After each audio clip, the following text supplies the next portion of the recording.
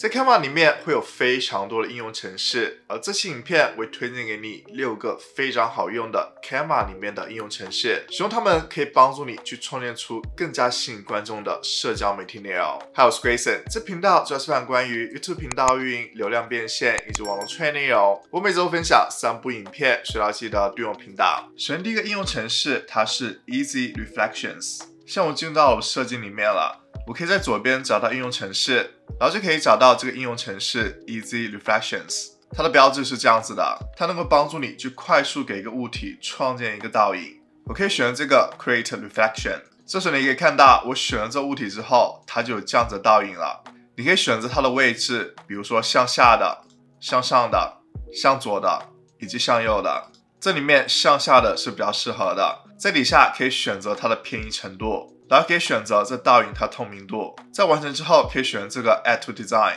这时候你可以看到它就创建一个这样的倒影了。我可以挪动它位置，挪动到这底下，然后可以调节它大小。甚至可以看到我这瓶香水它这个倒影了，在你做产品广告的时候，这样的效果是更加好的。我这里面可以稍微调整下透明度，选择透明度选项，调整透明度，这样就可以看到这倒影就更加自然了。下一个应用程式叫 Gradient Generator。现在有很多人喜欢用渐变颜色的形式去加入到它的设计里面，去让整体的设计显得更加丰富一些。在 Canva 应用程式里面，我们选择 Gradient Generator。第一个就是这个程式，这个程式能够去让你去加入五种颜色，然后去把这五种颜色变成一种渐变颜色的集合。你可以选择每一种颜色，你可以直接点击颜色，或者是加入一个颜色的代码。比如说第一种颜色，我选择这种颜色，再来选择第二种颜色，比如说是这种黄色，再选择第三种颜色，比如说是这种紫色，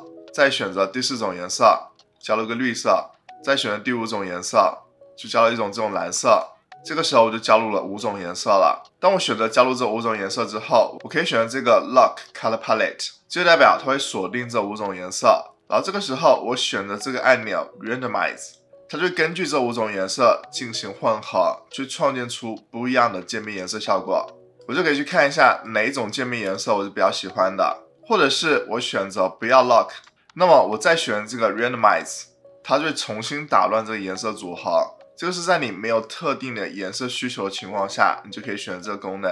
是更快的能够去帮助你去找到你喜欢的渐变颜色效果的。比如说我喜欢这种渐变颜色效果，然后我可以调整一下这个噪音属性，我可以调节它的噪音点，你就可以看到会有这样的材质了。但是我建议大家渐变颜色最好把这数值调低一些，因为通常来说你是把这种渐变颜色效果去作为背景的，所以你不需要有特别多的效果。然后你可以选择这个 Add to Design，你就可以生成这样的渐变颜色效果了，然后可以调节它尺寸。这个时候，你可以选择旋转，去调节渐变颜色的位置，或者把它变更大一些，去调节这里面颜色的不同比例，也是可以的。这样就能够创建出一个渐变颜色效果了。下一个应用程式叫 Type Gradient，它的标志是这样子的，它的功能就是能够让你去给文字加入渐变颜色。在这里面的文字，你可以输入英文或者中文都是可以的。比如说我输入了中文，这底下你可以选择一个不同的字体。这里面会有很多的字体供你选择，然后在底下会有一个不同的排列形式，这是当你有几行文字的时候是可以适用的。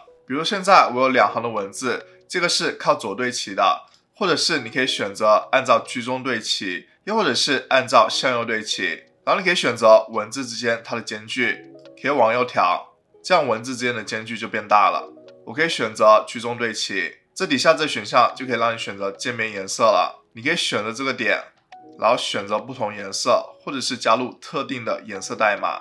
比如说可以选择红色，然后再选择中间这点，选择黄色，然后右边这点选择蓝色，可以来看一下这个就效果。然后渐变颜色的形式也是能够调整的，你可以手动调整，比如说可以选择这样的形式，然后这点移动到这里面，你就可以看到这个渐变颜色它从左上变到右下的。这个点是可以让你随意的调整的，你可以选择这个 Reset Position 去重新调整，或者是你就选择这样的设计，你可以选择 Add to Design。现在可以看到我这文字就有个渐变颜色的效果了，我可以调整它大小，但是你不能够调整它的文字信息了。下一个应用程式也是和文字有关的，它叫 Typecraft。这个应用程式是能够让你的文字进行任意的变形的，最上面你可以输入文字的信息。在底下你可以选择不同的字体，比如说可以选择这样的字体，然后底下可以选择文字的风格，你可以选择这个没有镂空的风格。这里面你可以调整一下这个文字边缘它的宽度，然后可以调整这个边缘它的颜色，又或者是可以选择这样子的文字样式。这个文字是有填充颜色的，并且也是有文字的外轮廓的。你可以调整文字的本身颜色，在底下你就可以对这个文字进行任意的调节了。比如说，你可以做出这样的形式，两边是凸起的，中间是往下凹的。如果你不喜欢这样的形式，你可以选择 Reset Shape。如果你喜欢这样的形式，你可以选择 Add to Design。就可以看到我这文字就做出来了。下一个应用程式它是 Canwave。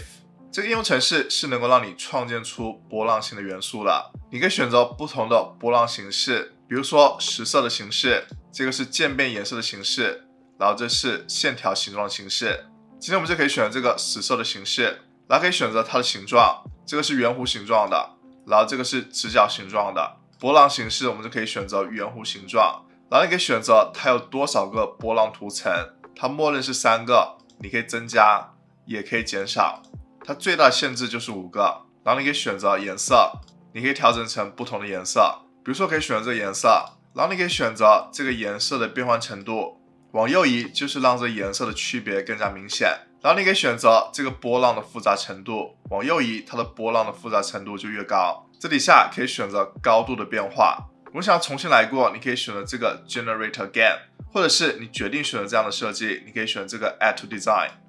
现在也可以看到，我就做出了这样的波浪形的元素了。我是能够任意调整大小，然后挪动它的，这样就可以给内容去添加一个不同的元素。接下来一个应用程式叫 Mockups，它是能够让你把设计去放到一个实际的物体里面，去更好的展示出这样的设计的。这里面会有不同分类，比如说智能手机、印刷品、服装、电脑、画框、家庭和生活用品等等。假如说我想要更好的去展示所有的频道，我就可以选这个 Computers，然后可以选择查看全部，然后可以选择这样的展示形式。我可以首先调整一下它的大小，然后就可以把我 YouTube 频道的首页图片去嵌入到这笔记本电脑里面了。我可以选择上传，你可以选择这个上传答案去上传图片。这里面我已经上传过我之前的 YouTube 频道首页图片了，所以可以选择直接拖入。这时候你可以看到，我就拖入我 YouTube 频道首页图片了。但是你可以看到它大小有点不一样，左右还是有黑色的。我可以选择左上角编辑，这里面可以选择影像裁切，我需要选择填满。这时候你可以看到我这图片就布满我整个屏幕了。然后可以调整一下上下的位置，比如说往下移。它其他功能还有座位裁切，有不同的对齐形式。然后你可以选择翻转，这里面我不做其他调整，我可以选择这个套用变更。现在就可以看到，我这个笔记本电脑里面就有一个完整的 YouTube 频道首页图片了。这样的展示形式就更加生动还有真实了。又或者是你做出了一个海报，你想要更好的去展示，你就可以选这个印刷品选项，然后选择查看全部。我可以选择这样的形式，这里面我就上传一个我设计的海报了，也是一样直接拖入。现在就可以看到，我这海报就有这样的展示形式了，会显得更加真实。如果想要快速学会如何使用 Canva，你可以看这期六十分钟的免费教程。如果你觉得这期影片对你有帮助，希望这部影片点个赞，一定要记得订阅我频道，追踪 IG，能够和更多互动。那我们下期片再见，拜拜。